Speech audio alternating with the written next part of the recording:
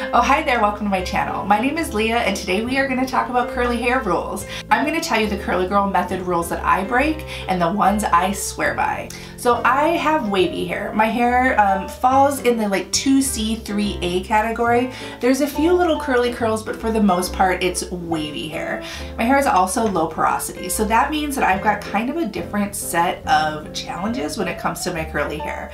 Because it's low porosity and wavy that means my hair is fine but there's a lot of it and it also gets built up really quickly. So one of the rules I break with the curly girl method is I wash my hair every time. I don't co-wash, um, I actually shampoo my hair, but I use curly girl approved shampoos. My favorite right now is the Not Your Mother's line. I switch between the activated charcoal and the Hawaiian or Royal Honey, the yellow one. You know what I mean. So I go between the black one and the yellow one to wash my hair. Um, but I actually wash my hair twice a week. Um, so I do let my natural oils kind of build up on my hair. And another rule I break is I do a deep cleanse every once in a while. Um, my hair gets buildup on it. That's just how it is. And I know a lot of wavies are like me where after a while using products and using leave-ins and things like that makes your hair feel really gunky and it gets really weighed down and sometimes my curls and waves look almost straight and I find that doing a really deep cleanse every once in a while, like not often, maybe once every six weeks or so, um, really helps bring the spring and bounce back into my hair. And I like the way that my scalp feels afterwards. Like I don't like a a crunchy root. Um, so I like my hair to look soft and manageable and that really helps.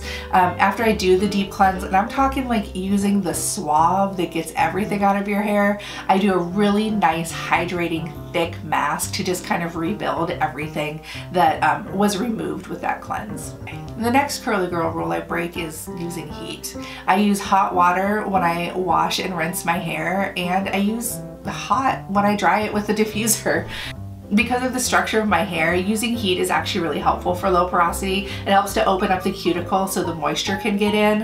Um, and honestly, my hair takes a thousand years to dry. If I didn't use heat, it would never dry. And what are the curly girl rules that I absolutely swear by?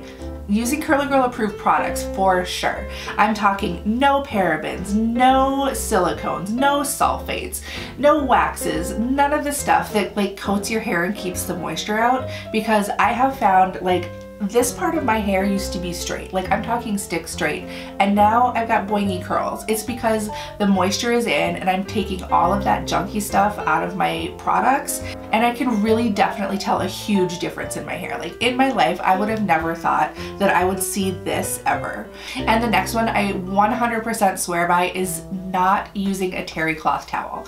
I use a t-shirt to wrap my hair up after I get out of the shower. Some people like to use a microfiber towel, which they swear by, but I find is using a t-shirt works great. It doesn't damage my hair and it um, it's really great for scrunching out the kind of crunchy parts after I use a gel too. So that's kind of a quick rundown of the curly girl rules that I break and the ones I definitely follow.